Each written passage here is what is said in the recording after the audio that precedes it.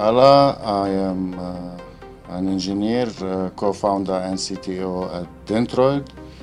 Uh, came my background from Syria. Uh, I finished my undergrads in system information from Soviet, uh, former Soviet uh, country, and I moved to Australia in 2009.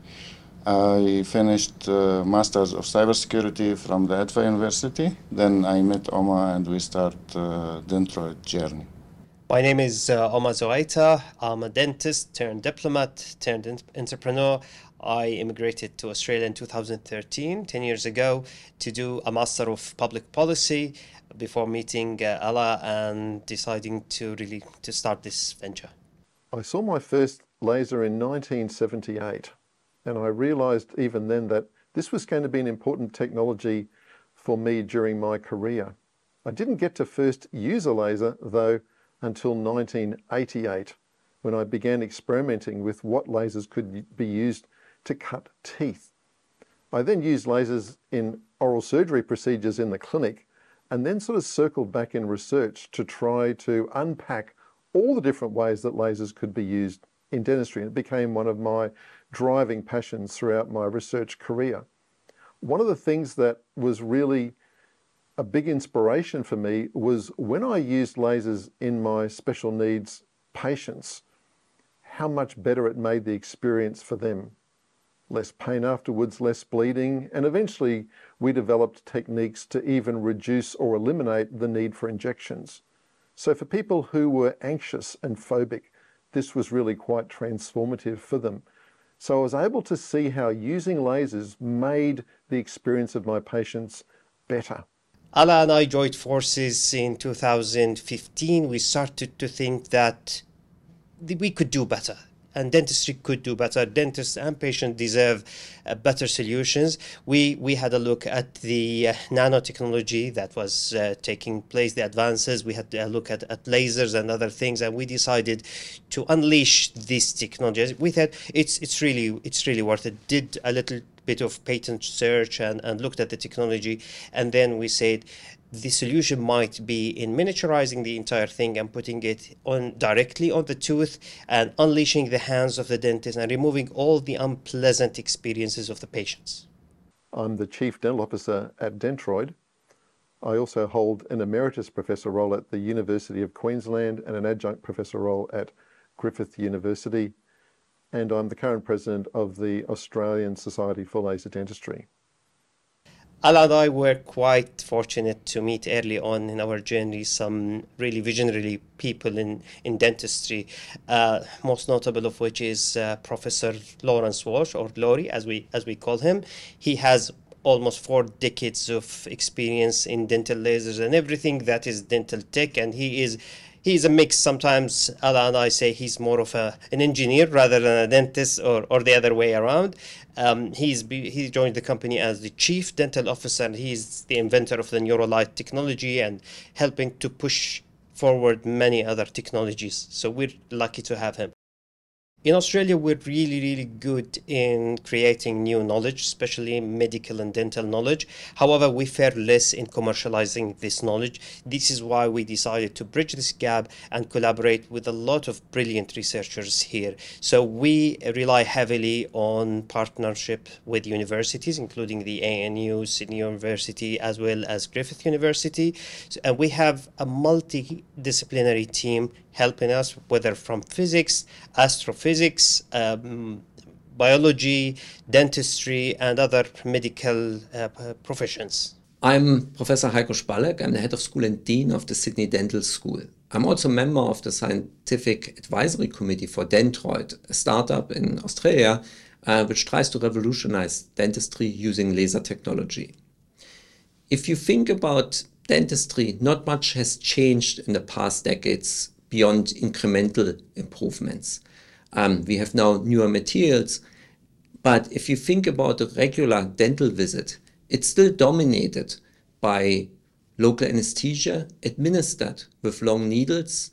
And then we use high speed drills, which create a lot of high pitching noise and vibrations, creating discomfort for the patient.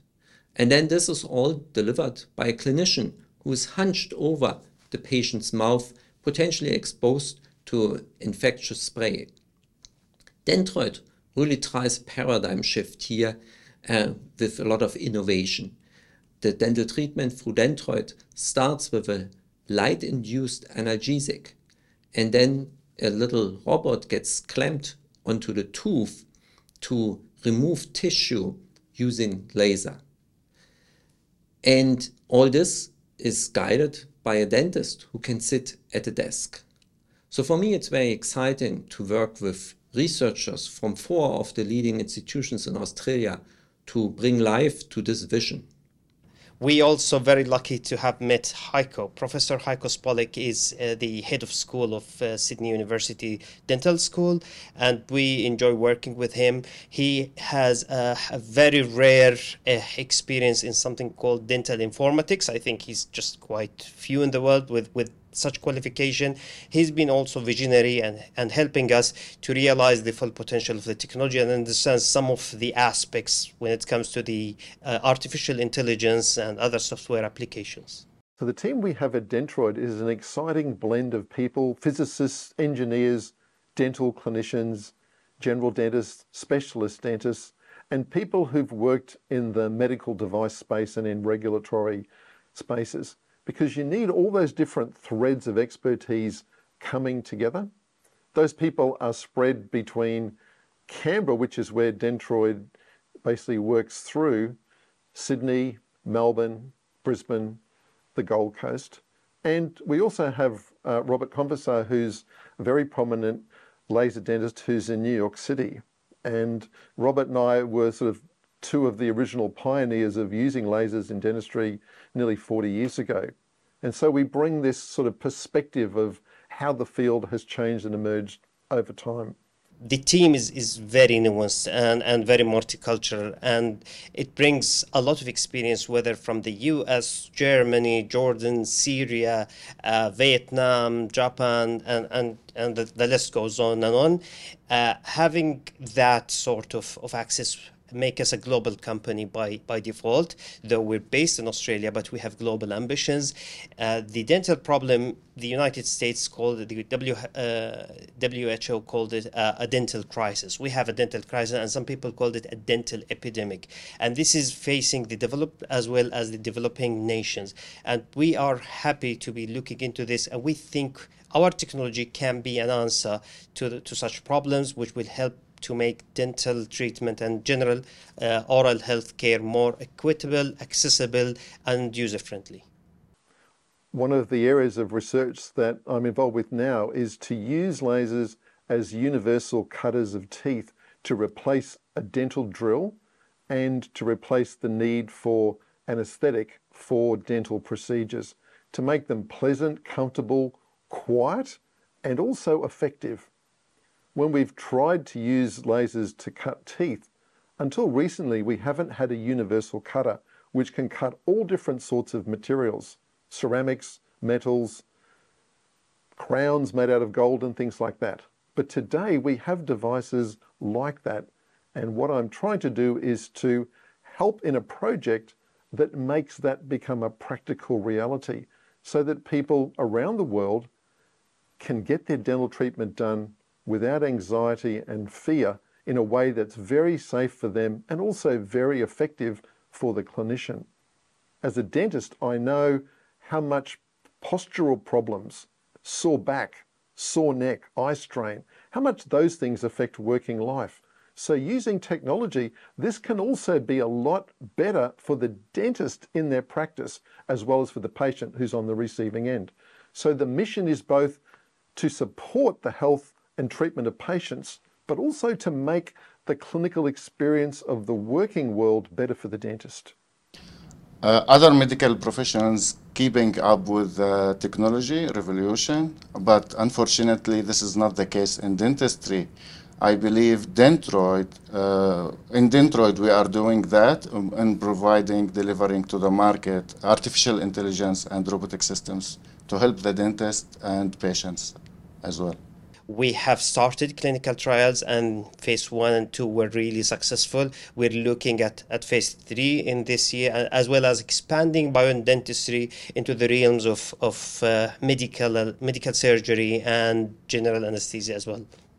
I think with better dental treatments, we can, across the age range of someone, improve their quality of life, not just for oral health, but also for general health. At the bottom of the age range, we know that dental diseases, particularly tooth decays, are the biggest reason for unplanned childhood admissions to hospitals. So we can intervene in that now at earlier stages.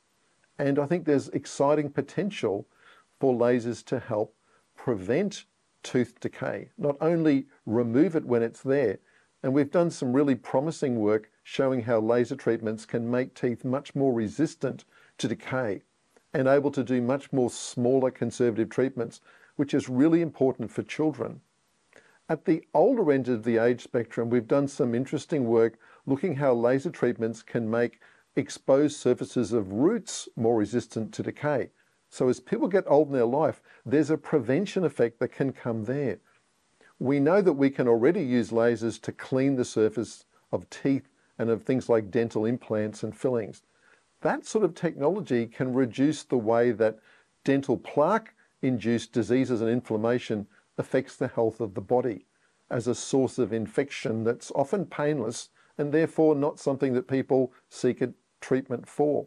So I think there's actually lots of different angles that there could be potential health benefits downstream. All of that needs to be teased apart over a long time with lots of studies. But the fundamental premise is that better oral health should translate into better general health.